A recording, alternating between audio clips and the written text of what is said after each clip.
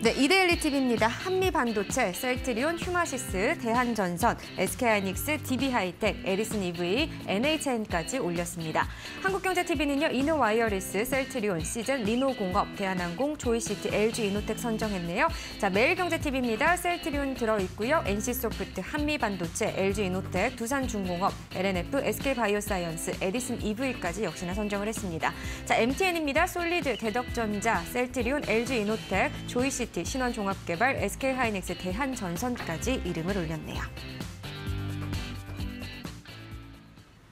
네, 종목 분석해 보겠습니다. 첫 번째 종목은 어떤 종목인가요? 네, 첫 번째 종목은 많은 개인 투자분들의 종목이라 할 수 있는 셀트리온을 봐야 될 것 같습니다. 이 종목 때문에도 음. 애가 참 많이 탔었어요, 최근 그렇죠. 들어서요. 예. 최근에 계속 하락세가 지속이 음. 되고 있고 상대적으로 또 최근에 급락이 좀 있었지 않습니까? 그러다 보니까 상당히 많이 애를 태우는 종목이고 개인 투자자분들을 상당히 웃게 하고 울게 하는 종목이라 봐야 될 것 같아요.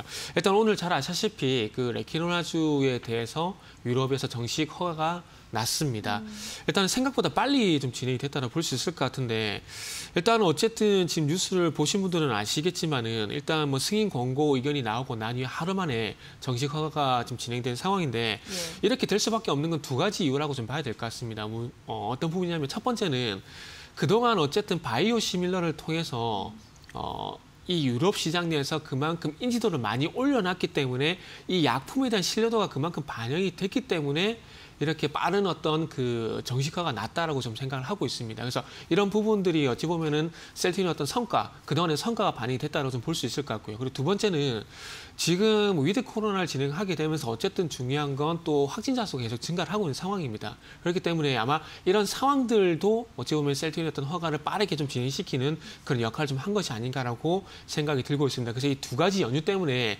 어, 이 셀트리온의 어떤 렉키로나주 허가가 좀 빨리 진행된 것이 아닌가 좀 볼 수 있을 것 같은데 어쨌든 이제 중요한 것은 어, 머크라든지 그리고 화이자 이 알약 그 경구형 치료제가 나오기 이전에 얼마만큼 유럽 시장을 또 잠식을 하느냐. 요게 어떤 셀티비 그 셀티의 어떤 숙제로 남아 있다고 좀 봐야 될 것 같습니다. 그 다음에 어떤 바이오시밀 어떤 점유율이라든지 어떤 신뢰도를 봤을 때 빠르게 어, 처방이 늘어날 가능성이 상당히 높다고 봐집니다. 그렇기 때문에 이 빠른 처방을 통해서 서두에 말씀드렸지만은 머크라든지 그리고 화이자가 만든 알약 대비해서 빠른 어떤 치료 효과라든지 이런 부분을 좀 어, 보여줄 필요가 있다. 이런 말씀을 좀 드려보고 싶고요. 그래서 이런 이슈가 좀 발생이 되게 되면서 어쨌든 주가는 좀 제자리를 찾아갈 것 같습니다. 무슨 얘기냐면은 최근에 그 어, 셀트론 같은 경우에 날짜를 보게 되면 9월 30일에서 10월로 넘어가는 시점에서 머크의 경구형 치료제가 나오게 되면서 단기간 좀 급락이 나왔었거든요. 그렇죠. 그러면서 이제 레키로나 주가 유럽에서 허가가 났기 때문에 이제는 뭐 그 이전 수준 20만 원까지는 반등이 나올 가능성이 있다라고 생각을 하고 있습니다. 음. 그 이후부터가 이제 또 중요하겠죠. 어쨌든 그 코로나 이슈로 하락했던 부분들이 레키로나주 이슈로 해서 이제는 악재에서 빠졌던 주가가 호재에 의해서 제자리를 찾아갈 것이고 제자리를 찾아간 주가는 이제 얼마만큼 이 코로나 이슈를 빠르게 벗어내게 되면서 셀트리온이 가지고 있는 본질적 가치를 찾아가냐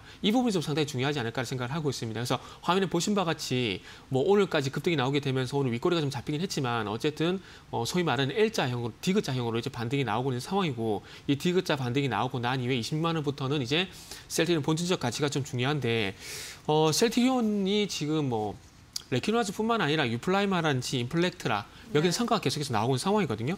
루플라이마, 유플라이마 같은 경우에는 4분기부터 일부 매출이 반영이 될 예정이고 내년부터 본격적으로 이 매출이 실적에 반영이 될 예정입니다. 그리고 어, 유럽 쪽뿐만 아니라 미국 쪽도 좀 살펴보게 되면 인플렉트라 같은 경우에도 지금 7월 달부터 미국의 사보험인 어, 시그나의 선호 의약품으로 등재가 되는 상황입니다. 그 이전 같은 경우에도 뭐 유나이티드 헬스케어라는 사보험을 통해서 현재 미국 시장을 계속 계속해서 점유율 넓혀가기 위해서 노력을 하고 있는데 어쨌든 시그널을 통해서도 어쨌든 선호 의약품이 등록이 됐고 이 미국 바이오시밀러 시장을 이제 또 개척해 나갈 건데 어쨌든 하반기부터 뭐 성과가 반영이 되고 이 처방, 처방 금액도 빠르게 증가를 하게 되면서 미국 시장 점유율이 21%까지 올라왔습니다. 이게 상당히 큰 성과거든요. 예. 근데 이런 좋은 성과가 있음에도 불구하고 이슈의 우선순위 측면에서 봤을 때 셀트리온 현재 주가에 영향을 주고 있는 부분들은 본질적인 바이오시밀러보다는 코로나 이슈가 더 크게 반영이 되고 있기 때문에 제가 볼땐 빠르게 이 코로나 이슈를 좀 벗겨내고 해소를 하고 어쨌든 지금 방금 말씀드린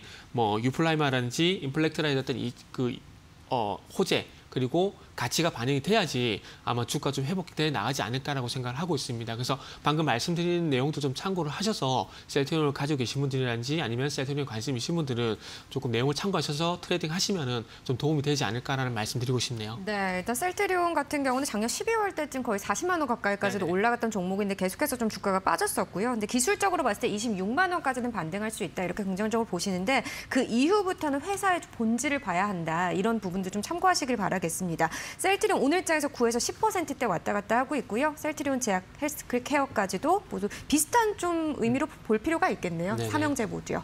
네, 알겠습니다. 셀트리온 알아봤고요. 두 번째 종목은요.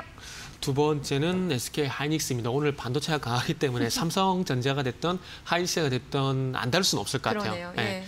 어, 그게 특히나 또 하이닉스가 상대적으로 강하게 반등이 나오고 있는 상황인데, 어, 오늘 이 하이닉스가 반등이 나오는, 오늘만 봤을 때, 오늘 하이닉스가 이렇게 상승폭이 크게 나온 것에 대해서 이유를 좀 많이 찾아봤는데, 어, 일단은 DDR5 이슈가 제일 뭐 신빙성이 있다라고 좀 생각을 하고 예. 있습니다. 지금 디램에 대한 또 우려감이 완전히 해소가 된 것은 아니거든요. 해소가 된 것은 아니기 때문에 결국에는 이 디램 에 대한 우려 이런 부분을 얼마만큼 빨리 해소를 하냐가 좀 관건일 것 같은데 그래서 DDR5 이슈가 아무래도 좀 먼저 일단 일찍 반영이 되게 되면서 하이닉스에 좀 힘이 좀 되고 있는 것으로 좀 판단이 되고 있는 상황입니다. 일단 그 트렌드 포스, 그 디램 익스체인지와 마찬가지로 트렌드 포스 같은 경우도 뭐 바- 디램을 포함한 메모리 반도체 어떤 가격 전망을 많이 하는 연, 어, 연구기관인데 일단 잘 알고 계실 겁니다. 지금 뭐 아시겠지만은 JP 모건도 그렇고요. 최근에 골드만삭스도 이 디램 업황에 대해서 상당히 안 좋게 지금 보고서를 내고 있는 상황입니다.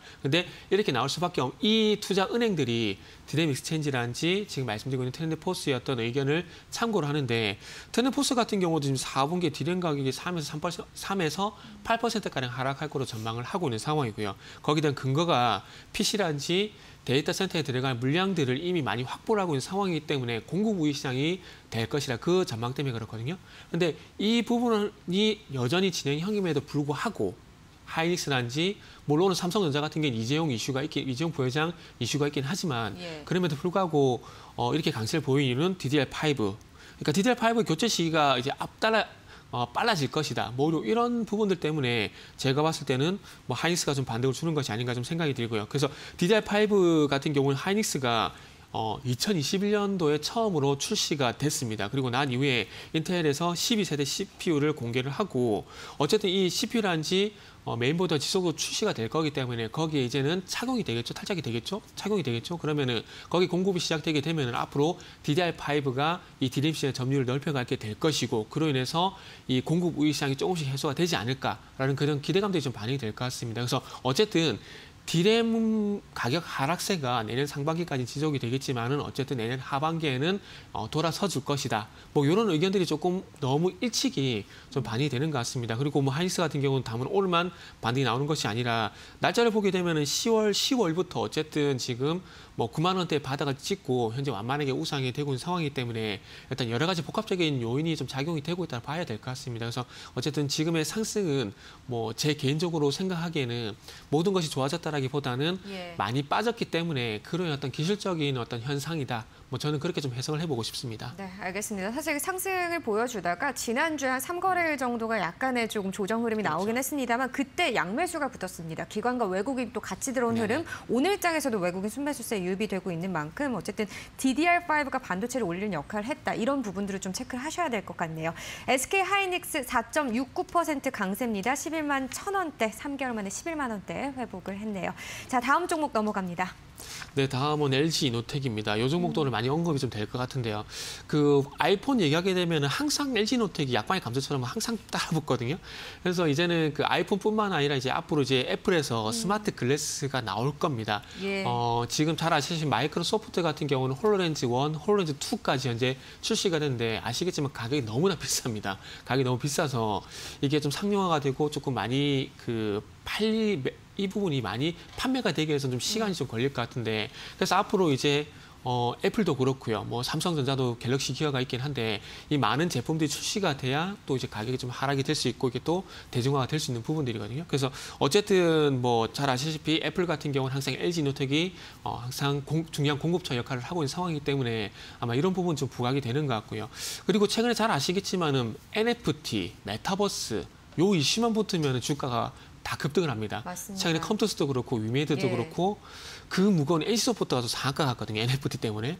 그래서 아마 LG 이노텍도 그런 현상의 일부분이라 좀 봐야 될 것 같아요. 그래서 음. 어쨌든 공급 가능성 일단은 애플의 가장 중요한 공급처 역할을 하고 있기 때문에 이 애플이 스마트 글래스를 출시를 하게 되면은 거기에 대한 렌즈라든지 카메라 모듈 같은 경우는 분명히 LG 이노텍이 담당을 할 겁니다. 근데 그럼에도 불구하고 최근 3일 동안 거래 3일 동안 주가 상승분을 보게 되면은 너무 과도한 기대감들이 반영이 되고 있고 그런 어떤 쏠림 현상 때문에 주가가 좀 급등이 나오는 것 같아요. 그래서 이 현상이 아마 저 개인적으로 한 30만 원 부분까지 나오고 난 이후에 좀 조정이 받지 않을까 생각이 들고요. 그래서 어쨌든 어 다시 말씀드리고 싶은 부분은 쏠림 현상 이게 중요한 거거든요. 쏠림 현상이어서 단계적인 급등이 나오는 상황이기 때문에 무리한 추격 매수는 도리어 좀 독이 될 수 있다라는 점도 좀 중요하다라고 좀 말씀드리고 싶네요. 네, 역시나 30만 원 선까지는 상승력을 좀 볼 수는 있겠지만 네네. 그래도 추격 매수는 좀 조심할 필요가 있다라는 말씀이십니다. LG 이노텍이고요. 지금 현재 5%대 상승력, 뭐 실적 부분도 그렇고요. 뭐 애플카 출시에 대한 이슈도 그렇고 뭐 아이폰도 그렇고요. 지금 메타버스까지 엮이면서 같이 또 올라가는 모습을 나타내고 있습니다. LG 이노텍까지 세 가지 종목 분석해 봤네요. 오늘 말씀 여기까지 듣겠습니다. 고맙습니다. 네, 감사합니다.